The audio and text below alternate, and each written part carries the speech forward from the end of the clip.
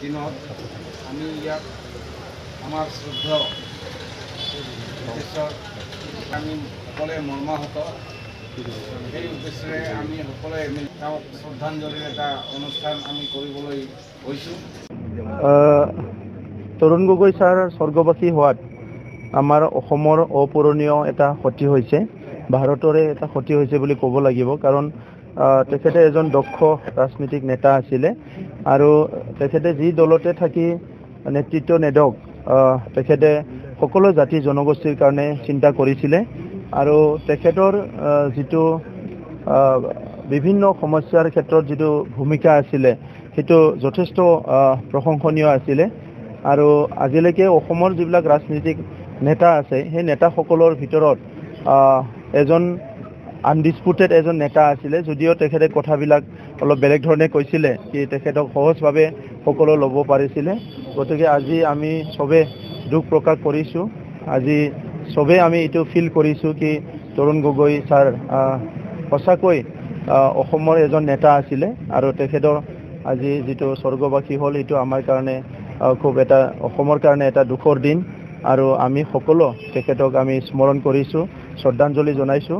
তেখেতৰ স্বৰ্গ স্বৰ্গীয় আত্মা যাতে শান্তিৰে থাকিব পাৰে আৰু তেখেতৰ পৰিয়ালবৰ্গলৈ আমি সমবেদনা জ্ঞাপন কৰিছোঁ।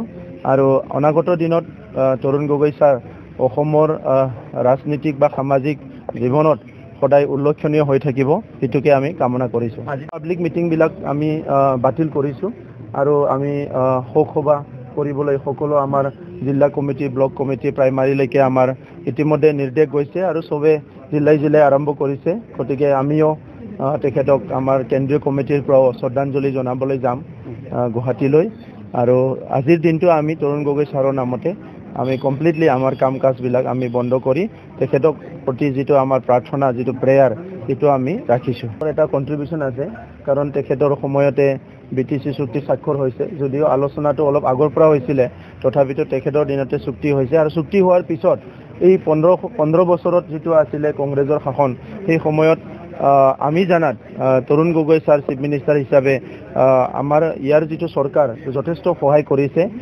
তেখেতে যিমান পাৰে সকলো দিশৰ পৰা সহায় কৰিছে আৰু অসমৰ বিভিন্ন জাতি জনগোষ্ঠীবিলাকক যথেষ্ট তেখেতে এটা পজিটিভ এটা দৃষ্টিভংগীৰে এটা চাইছিলে আৰু কাম কৰিছিলে সকলোকে সহায় কৰিবলৈ চেষ্টা কৰিছিলে এই কথাখিনি আমি জানো। গতিকে আজি সঁচাকৈ তৰুণ গগৈ ছাৰক আমি মিছ কৰিছোঁ।